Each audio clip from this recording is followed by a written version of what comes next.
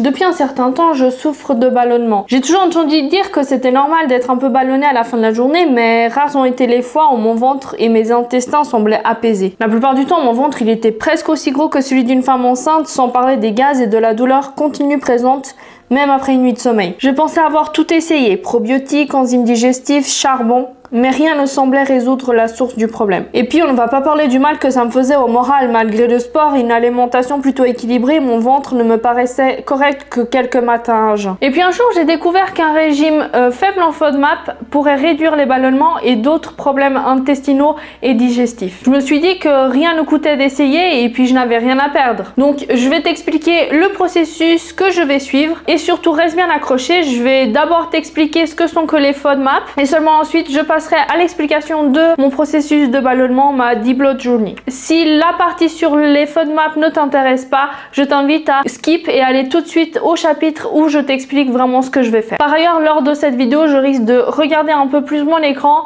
Étant donné qu'il y a des mots un peu plus compliqués, ben, je vais les lire, mais je vais faire au mieux. Donc c'est parti les FODMAP sont des petites molécules de sucre qui se trouvent dans les aliments tous les jours, donc c'est un peu ces molécules qui nous donnent de l'énergie. Mais certaines personnes pourraient avoir de la peine à les absorber. Les FODMAP sont transportés du système digestif jusqu'au côlon, et dans le côlon ils sont fermentés, c'est-à-dire digérés par les bactéries, et donc finalement ça produit du gaz. Il y a peu d'études là-dessus, mais on estime que 50% des personnes atteintes du syndrome du côlon irritable pourraient bénéficier d'un régime faible en FODMAPs, et ainsi donc soulager les douleurs abdominales, soulager les crampes, les ballonnements, les excès de gaz, de la constipation et ou de la diarrhée. Et en fait, en me renseignant sur tout ça, ce contenu m'a fait écho. Parce que quand j'avais 16-17 ans, je souffrais de gros troubles digestifs, de constipation, de douleurs et de crampes abdominales, et ainsi que de ballonnements. Et je me rappelle qu'à l'époque, mon médecin m'avait dit que j'avais une sensibilité du côlon. Il ne m'a cependant pas diagnostiqué le syndrome du côlon irritable. À l'époque, je m'étais demandé si c'était une maladie que j'aurais à vie. Je me rappelle très très bien. Il m'a dit que non, qu'il fallait pas que je sois obsessive, que j'étais un peu plus sensible que la norme. Après un certain temps, les symptômes que j'avais à l'époque s'étaient allégés et du coup, je n'ai plus vraiment prêté attention.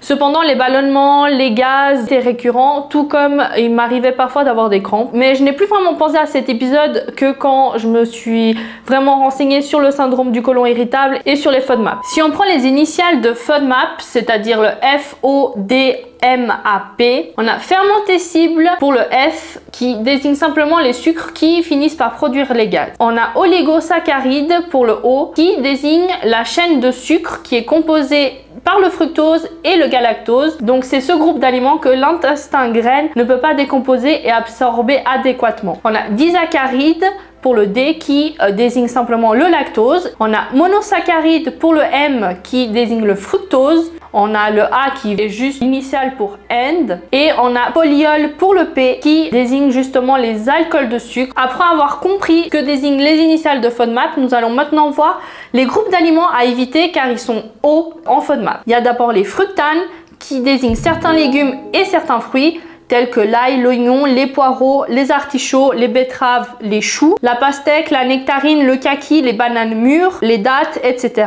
On a le groupe des galactanes qui désigne toutes les légumineuses ainsi que les noix de cajou et les pistaches. On a le fructose qui désigne les fruits, les produits sucrés et l'alcool. Donc dans les fruits très sucrés, on a la cerise, la tomate séchée, le coin, la figue, la mangue, la pomme, la poire et d'autres fruits. On a également le miel, les bonbons, le sirop d'agave et également les liqueurs et les cocktails, ce genre d'alcool très sucré. Pour le lactose, on a le lait et tous ses dérivés. Ça inclut également le lait de chèvre et le lait de brebis. Et finalement, on a les polyols qui désignent justement les sucres d'alcool et ses dérivés et tous les produits qui en découlent. Et donc, pour en venir à ma débloat journée. Donc, débloat, ça veut dire dégonfler et journey, c'est le processus. Donc, j'ai décidé de donner le nom en anglais pour que ça fasse plus style. Ma débloat journée va se dérouler en trois phases. Elle commence le 22 août et elle se terminera fin novembre. La première phase consiste à éliminer tous les aliments FODMAP et elle va durer deux semaines et puis je régulerai si jamais les symptômes y sont encore présents. La deuxième phase est la phase de test et elle va durer 8 semaines. Lors de ces 8 semaines, il va être question d'introduire un FODMAP par semaine. Il y a quelques règles à suivre. La première règle, c'est de réintroduire un aliment FODMAP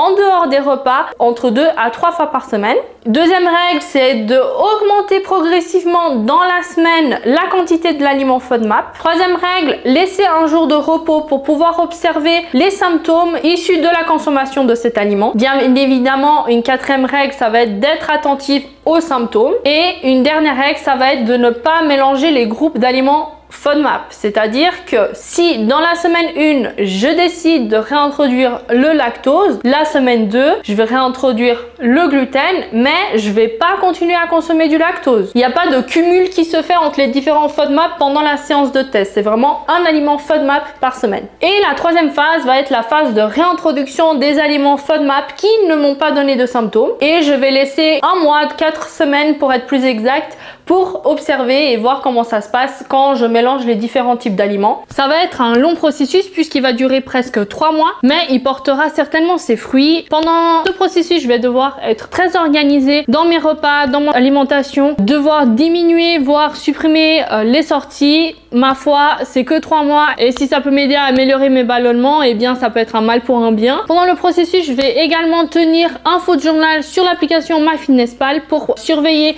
justement mes micro et mes macronutriments. C'est important vu que je supprime certains aliments. Je vais également supprimer la caféine pendant ces trois mois étant donné que c'est un irritant pour les intestins et ça tu peux certainement le remarquer si tu bois du café et que quelques minutes après tu vas aux toilettes. Étant donné que je supprime la caféine, je vais surtout privilégier les infusions aux herbes, notamment le thé de menthe poivrée, le thé de camomille, de fenouil, de gingembre et de mélisse, qui sont des herbes qui aident avec les ballonnements. Je vais partager le processus de manière quotidienne sur un compte Instagram que j'ai créé exprès pour ma Deblood Journey, que tu peux trouver quelque part, et également avec une vidéo YouTube environ toutes les deux semaines. Si tu veux suivre mon processus, que tu souffres de ballonnement ou pas, je t'invite à t'abonner à cette chaîne et également à suivre l'Instagram du challenge que je te laisse par là. Je t'invite aussi à laisser un petit commentaire d'encouragement, ça m'aide pour le référencement YouTube et également à liker cette vidéo. Et je te dis à très bientôt pour du nouveau contenu. Ciao